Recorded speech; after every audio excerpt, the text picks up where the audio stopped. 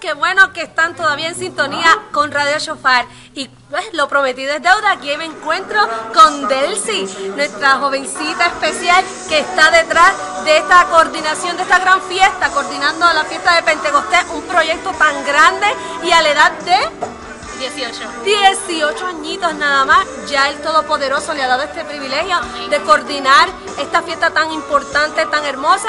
Y pues yo podría decirle tantas cosas de Delcy, pero entonces nos amaneceríamos. Vamos a conocerla. Saluda Delcy a la, nuestra preciosa tele, eh, radio audiencia. El Todopoderoso les bendiga a todos. Estoy muy contenta de estar aquí con nuestra hermana Lili, creciendo en el camino.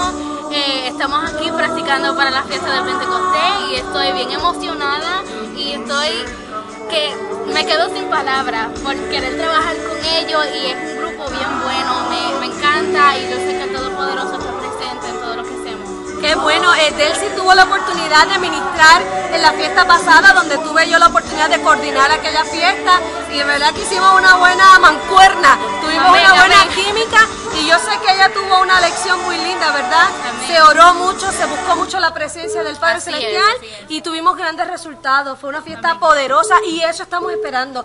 Delcy, que cuéntame, ¿qué me puedes decir alguna cosita buena de lo que vamos a ver? No nos vas a decir todo porque queremos que sea factor sorpresa para nuestros hermanos, pero ¿qué tienes preparado? A ver, aunque sea, danos un- un- Eh, un- una clavecita. Bueno, si quieres saber lo que tengo preparado, tienes que ir, porque a la verdad las cosas son tremendas, las cosas que tenemos planeado son increíbles y no te lo puedes perder. Esto es Pentecostés, la fiesta más grande, con más poder, y venimos arrasando y venimos para hacer lo mejor para el Todopoderoso. Qué bueno. Bueno, yo no es que quiera, ¿verdad?, decir mucho, pero me cuentan por ahí que viene como que un drama poderoso. No, no es que me den Viene- muchos detalles, pero viene un drama y son súper poderosos y yo sé que el Padre se va a dejar sentir en ese lugar. Qué Eso sí bueno. lo puedo decir. A la verdad que esto me llena de emoción ver la juventud envuelta en estos grandes proyectos. Hoy día que, que hay tanta juventud, ¿verdad?, perdiéndose en el mundo. Aún en la congregación vemos jóvenes que se nos están perdiendo, irónicamente. Pero Delcy, yo quiero que tú le envíes un, eh, un mensaje especial a la juventud que nos está viendo por Radio le des un mensaje eh, positivo eh, sobre lo que estás haciendo. Bueno, yo me he visto en muchos momentos de dificultad, con momentos de desánimo y a veces no he querido seguir en adelante, pero yo sé que como me criaron y en esta iglesia como somos tanto como una familia, yo sé que si uno se basa en lo que sabe y se refugia en sus hermanos, pues puedes seguir en adelante y puedes seguir haciendo la obra que el Padre Celestial tiene contigo. Así que no te desanimes, sé fuerte y sigue hacia adelante porque el Padre está contigo. Qué lindo. Una cosa muy importante que acabas de decir es que uno se refugia en los hermanos. Qué bueno, porque la juventud necesita también de nosotros, los mayores, ¿verdad que sí? Siempre hace falta un veterano cerquita de la juventud.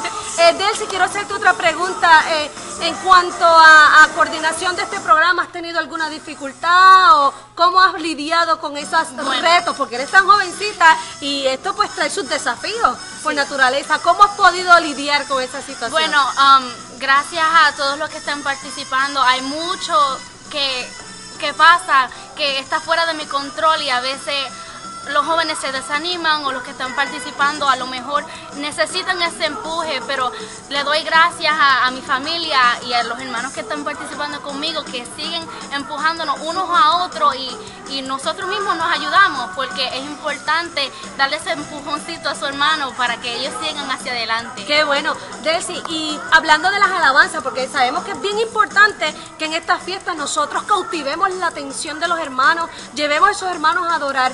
¿A, a qué criterios has tomado para elegir las alabanzas que ese día se van a cantar? Eh, bueno, yo personalmente escogí algunas canciones que me gustaban, que me gustó el mensaje, que me tocaron y también les pedí sugerencias a los muchachos que están trabajando con nosotros en la música y las cantantes también y todos parecemos que nos gustan las alabanzas y yo sé que si nos envolvemos muchos en ellas podemos hacer un trabajo bueno y podemos cantar bien para el Padre Celestial. Qué bueno, o sea que todo cayó ahí como debe ser. Qué bueno. Y eh, los músicos, ¿qué me puedes decir?